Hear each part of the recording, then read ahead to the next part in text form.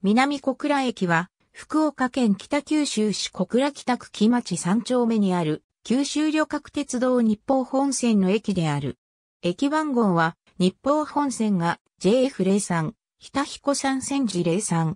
白野駅から日報本線に乗り入れる北彦山線の列車の利用も可能である。快速列車はすべて停車する。もともとは1941年に山田弾薬庫への専用線を敷設した際、その分岐点に設置された信号場がこの駅の前身である。その専用線は現在廃止され、末端部分を除きその跡地のほとんどが道路になっている。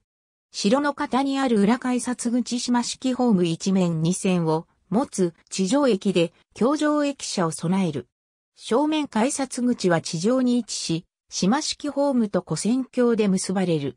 一番乗り場が日報本線下り及び日田彦山線直通、二番線が日報本線上りである。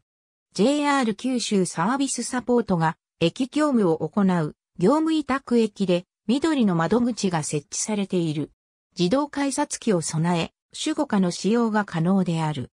ホームの白の駅側先端にある改札口の自動改札機は当初簡易型が導入されていたが、2011年に JR 九州標準の自動改札機に変更された。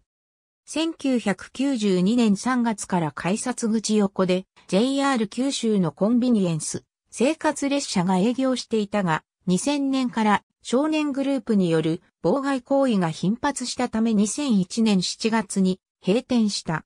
2019年度の1日平均乗車人員は5020人であり、JR 九州の駅としては第42位である。JR 九州及びと受け北九州によると、近年の1日平均乗車人員の推移は、下記の通り、小倉北区の南西部にある。付近には、大学や高等学校が多く存在し朝夕は、通勤者や通学者が多い。ありがとうございます。